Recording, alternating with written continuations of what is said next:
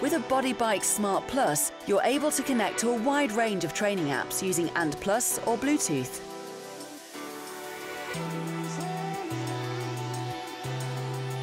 This quick guide shows you how to connect to Body Bike's training app. To get started, the first thing you have to do is download the Body Bike app on your iPhone.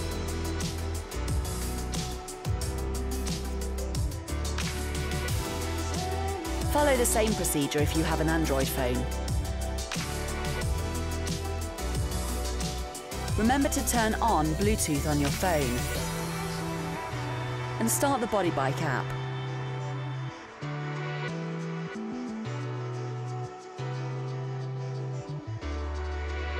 Each bike has a unique number on its handlebar.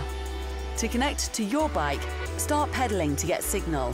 Go to the menu and choose Connect to my bike. Press your bike's number which appears on the screen. It's also possible to connect to an HR sensor.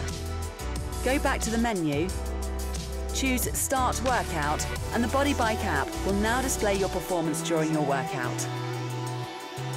Press play to record your training session. To get the data you're looking for, simply tap the gauge to switch between percent %FTP and percent %MHR and power.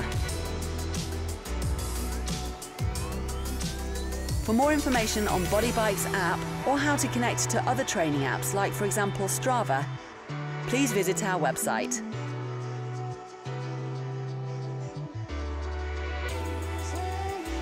Is your phone running out of battery? You can charge it while you ride. Just place your phone on the handlebar and connect the cable to the smart charger. With the Body Bike app connected to your bike, you're now ready to analyse your performance and boost your training. Have fun and enjoy your ride.